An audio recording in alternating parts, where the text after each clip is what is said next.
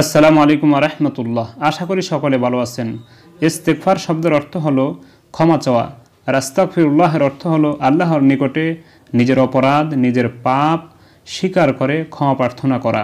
সুপ্রিয় দর্শক ইস্তেকফার করলে অনেক লাভ। আস্তাগফিরুল্লাহ শব্দটি অতি ছোট, কিন্তু তার উপকারিতা অনেক বিশাল, অনেক সুপ্রশস্ত। যে ব্যক্তি ইস্তেকফার বেশি বেশি করে করবে, আল্লাহ রবুল আলমিন তার রিজিক বাড়াইয়া দিবেন, যাহা হাদিসের মধ্যে এসেছে এবং কোরআন শরীফের মধ্যে এসেছে। যে ব্যক্তি ইস্তেকফার বেশি বেশি করে করবে, আল্লাহ রবুল আলমিন তার বিভিন্ন কাজের বাধা দূর করে দিবেন। এবং যে ব্যক্তি বেশি বেশি করে ইস্তেকফার করবে, আল্লাহ রবুল আলমিন তার উপরে খুশি হবেন। যে ব্যক্তি বেশি বেশি করে ইস্তেকফার করবে, আল্লাহ রবুল আলমিন তার শৈলে শক্তি দান করবেন, যাহা কোরআনের মধ্যে এসেছে।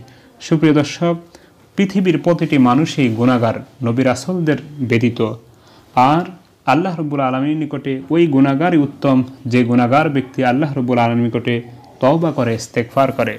সুপ্রিয় দর্শক, আজ আমি একটি ছোট ইস্তেকফারের কথা বলব। যে ইস্তেকফারটি জুমার দিন সকালে মাত্র তিনবার করলে আল্লাহ রবুল আলমীর সমস্ত গুণা ক্ষমা করে দিবেন। এই সম্পর্কিত হাদিসটি এসেছে, আমালুল ইয়াউমি ওয়াল্লাইলা নামক কিতাবে।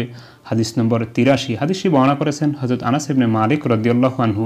তিনি বলেন, নবী করিম সাল্লাহ আলী হুসাল্লাম ফরমেছেন যে ব্যক্তি জুমার দিন ফজরের নামাজের পূর্বে তিনবার এই ইস্তেকফারটি পড়বে, আল্লাহ রব্বুল আলমিন তার সমস্ত গুণা ক্ষমা করে দিবেন।